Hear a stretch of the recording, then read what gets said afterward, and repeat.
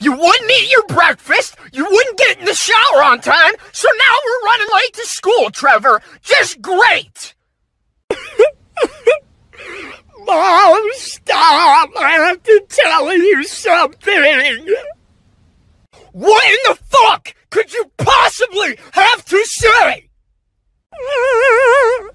I forgot my backpack at home! Don't hit me!